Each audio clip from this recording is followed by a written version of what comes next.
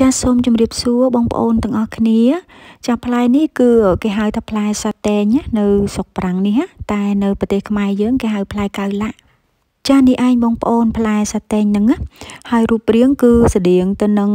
សัตว์សត្វគ្រឿងសមុទ្រដែលនៅស្រុកខ្មែរយើងគេនិយមញ៉ាំណាអ្នកក៏មានដែរបងប្អូនតែនាងខ្ញុំអត់ដែរញ៉ាំទេព្រោះនាងខ្ញុំមិនញើតណាចានៅស្រុកប្រាំងនេះគេហៅថាសត្វភេទសមុទ្រចឹងណាបងប្អូនហ្នឹងហើយនៅវីដេអូមុននាងខ្ញុំសុំទោសផងដែរនាងខ្ញុំនិយាយខុសណា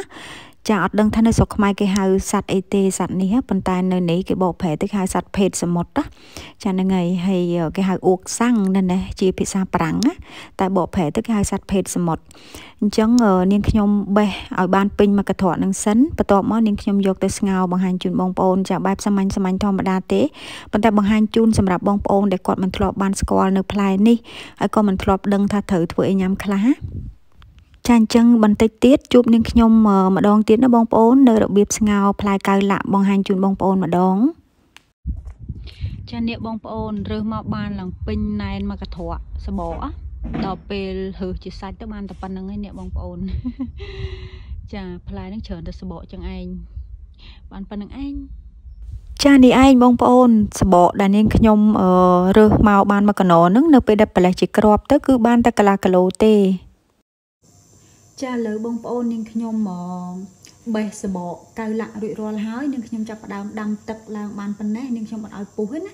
នាងខ្ញុំទុកឲ្យឡើងបានក្តៅប្រហែលជា40%គឺនាងខ្ញុំចាប់ផ្ដើមដាក់កៅលាក់តែម្ដងដាក់ចូលទៅក្នុងឆ្នាំងរបស់យើងអញ្ចឹងទៅហើយយើងស្ងោររហូតតតែឆ្អិនណាបងប្អូននាងខ្ញុំអត់លីងទេព្រោះលីងយូរចង់ញ៉ាំហ៎បងប្អូនអញ្ចឹងស្ងោរទៅលឿនជាងហើយអត់ឆ្ងៀមអត់ឆ្ងៀមបើយើងលីងវាវាឆ្ងៀមណា ព្រោះត្រូវការប្រើពេលវេលាយូរក្នុងការលីងព្រោះសបកបោះកៅលាក់នេះឃើញថារៀងរឹងដែរអញ្ចឹងយើងស្ងោរទៅលឿនជាងចា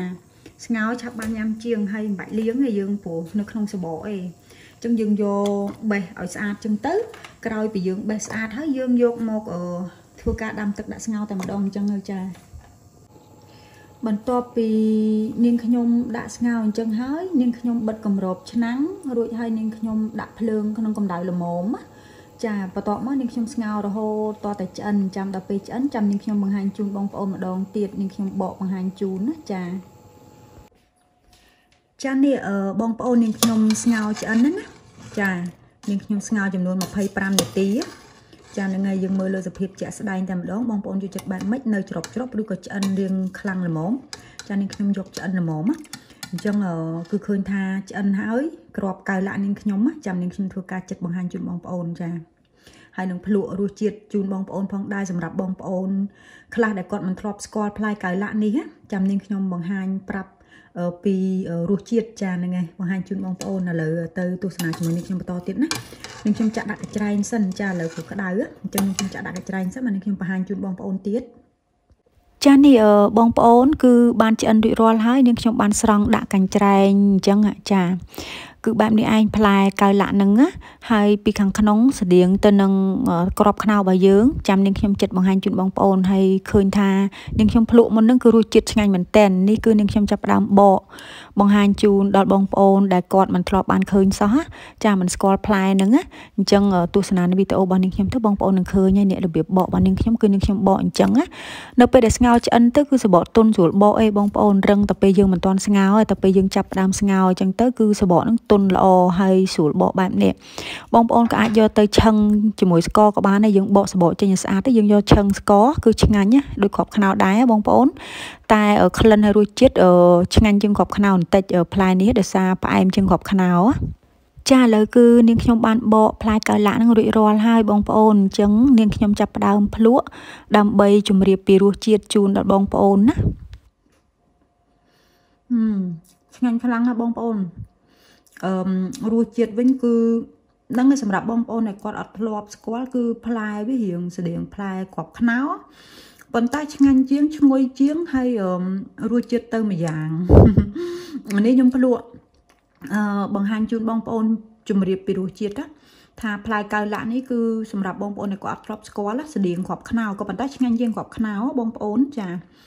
ហើយសាច់វិញហ្នឹងមិនមិនខុសគ្នាជាមួយគ្រាប់ខ្នោយើងប្រហែលទេ ប៉ុន្តែនៅតែមិនដូចគ្រាន់តែស្តៀងណាចាអត់ focus ទេកាមេរ៉ានេះខ្ញុំគឺអញ្ចឹងឯងបងប្អូនឆ្ងាញ់ខ្លាំងណាស់បងប្អូនហើយផ្អែមហើយឈ្ងុយចារ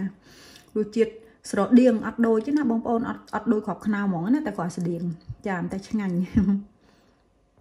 ចាអញ្ចឹងឥឡូវគឺរួចរាល់ហើយបងប្អូនសម្រាប់ក្នុងថ្ងៃនេះដែលនាងខ្ញុំបង្ហាញពីរបៀបនៃការស្ងោរគ្រាប់កៅឡាក់បែបងាយងាយស្រួលស្រួលណាចាគ្រាន់តែចង់បង្ហាញបងប្អូនថានាងខ្ញុំយកគ្រាប់កៅឡាក់ហ្នឹងមកធ្វើអីញ៉ាំ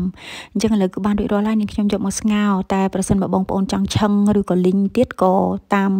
ការចូលចិត្តរបស់បងប្អូនណាអញ្ចឹងវីដេអូនេះគឺមានតែប៉ុណ្្នឹងទេនាងខ្ញុំសូមអរគុណដល់បងប្អូននៅការតាមដានទស្សនានៅវីដេអូមួយនេះពីដើមរហូតមកដល់ចប់ណាអញ្ចឹងក្នុងគណៈពេលនេះនាងខ្ញុំសូមអរគុណសូមគោរពជម្រាបលាបងប្អូនតែត្រឹមប៉ុណ្ណេះសិនជួបនាងខ្ញុំនៅឱកាសក្រោយទៀតអរគុណជម្រាបលា